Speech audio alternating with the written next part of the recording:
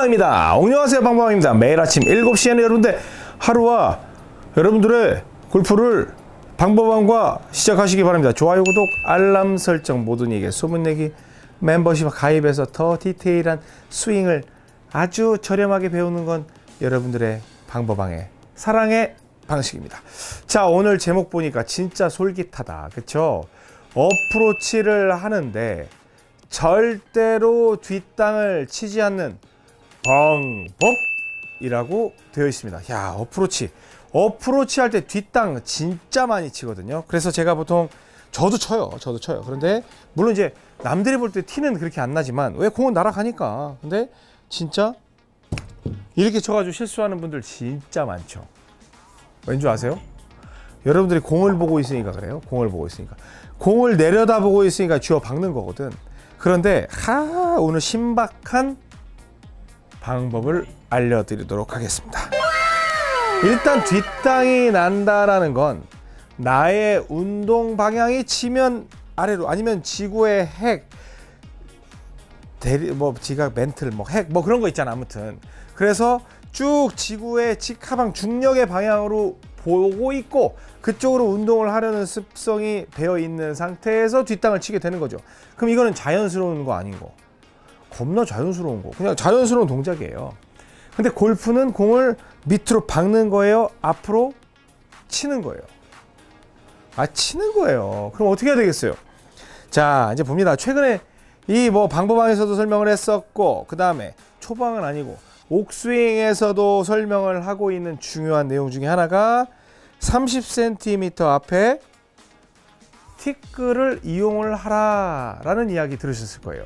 근데 여기에서 굉장히 중요한 포인트가 있습니다. 뒷땅을 치는 분들은 대체로 쉔크를 낼 가능성이 적어요. 그러니까 뒷땅과 토우에 맞는 게 좀 성향이 같고 왜냐면 내려치는 거기 때문에 좀 가파르게 내려올 때는 쉔크가 좀 나기 어려워. 그리고 flat하게 약간 완만하게 가는 분들은 top볼과 shank가 같이 날 가능성이 많이 있어요. 그러니까 일단 뒷땅이 나는 건 shank 걱정은 안 해도 돼.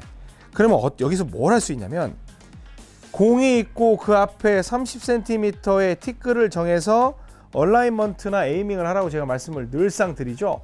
우리 초중급 골퍼들은 근데 여기에서 제가 보통 뭐라고 말씀드리냐면 공을 그쪽으로 날리려고 노력을 해라. 그러면 자 정상적인 골퍼들은 어프로치 할때 앞쪽에 30cm 티끌이 있으면 공을 치려고 하지 말고 공을 그쪽으로 날리려고 노력을 해라 라고 이야기를 해요.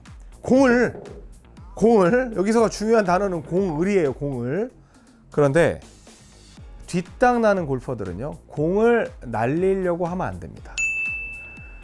공을 날리려고 하는 건 그냥 기본으로 깔고 들어가고요. 헤드를 그쪽으로 보내야 합니다. 30cm 앞으로 헤드를 통과시키려고 하셔야 돼요. 자 봅니다. 여기에서 공이 있으면 앞에 30cm가 있죠. 공이 아니라 헤드가 지나가는 거예요. 여기서 헤드가 그 라인으로 빨리 빨리 가는 거예요. 그러니까 소리가 이제 약간 달라졌어. 절폭, 저폭, 쿵 이런 거에서 딱으로 바뀌었네. 다시 여기에서 앞쪽으로 보면 빨리 백스윙 들었으면 헤드를 30cm 앞으로 보내려고 노력을 하는 거예요. 오 이거 뭔가 달라지고 있어. 근데 제가 말씀드렸어요. 헤드를 30cm 앞쪽으로 보내면 지금 이건 어떤 분들을 위한 레슨이에요? 어프로치 할 때 맨날 뒷땅 치는 사람들을 위한 레슨이죠. 근데 또 매번 잘 치고 있거나 타핑 치는 사람이 하면 이건 죽는 거예요. 이거 하다 보면 갑자기 타핑이 나는 경우가 있어요. 그러니까 분명히 뒷땅을 방지하기 위해서 알려드렸는데 30cm 앞으로 요 헤드를 가게끔 하려고 하니까 타핑이 나는 경우가 있어. 그럼 그럴 땐 어떻게 하느냐? 20cm만 줄이면 돼. 그러니까 30cm 앞에까지 통과시키려고 했던 걸 20cm까지만 통과시키려고 생각을 하면 또 정상 타격이 돼요. 그런데 그래도 타핑이 난다? 10cm로 줄이면 돼요. 헤드가 통과하는 걸. 그런데 갑자기 10cm를 통과하게 하려고 했더니 또 뒷땅성이 나. 그러면 20으로 늘리고 30으로 늘리고 심지어 30으로 하려고 했는데도 뒷땅이 나. 40으로 늘리는 거예요. 이거 굉장히 중요한 포인트예요. 왜? 여러분의 몸이 그냥 그렇게 생겼어. 어쩔 수가 없어. 그거를 갖다가 뭐 다른 사람이 준 기준으로 하면 안 된단 말이에요. 제가 준 기준을 토대로 해서 여러분들이 찾아야 돼요. 그러면 제 이제 40cm를 볼게. 한 50cm 볼까? 그러면 이런 식으로 해서 정말 소프트하게 맞긴 했지만 거의 타핑성이 난단 말이에요. 근데 만약에 타핑이 났다. 아, 그러면 20cm 정도만 통과시켜야 되겠다. 음, 이렇게 했더니 약간 땅도 스치면서 좋은 컨택이 나오는 거예요. 이런 식으로 조절하는 겁니다. 아셨습니까? 뒷땅 나는 골퍼들은 기본 30cm를 설정을 하고 헤드를 그쪽으로 통과시켜라. 공이 아니다.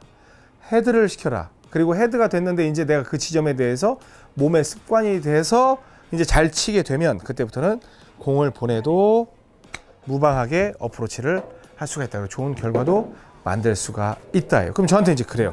아 그럼 클럽 헤드를 열었을 때는 어떻게 해야 돼? 클럽 헤드 이렇게 열었잖아. 그러면 보통 어프로치한테 열, 열면 아 그럼 이쪽으로 통과하면 되잖아. 내가 보내고자 하는 쪽으로 30cm 쪽으로 이쪽으로 보내려고 하면 되잖아요. 깎아 칠 거니까 어차피. 내가 셋업을 해서 열었으면 아무래도 대각으로 칠 거 아니에요. 그 라인만 지켜주시면 됩니다. 하셨죠? 별로 안 어렵죠? 그걸 꼭 따라 주시기 바랍니다. 으, 되게 좋은 내용이다. 방법방이었습니다.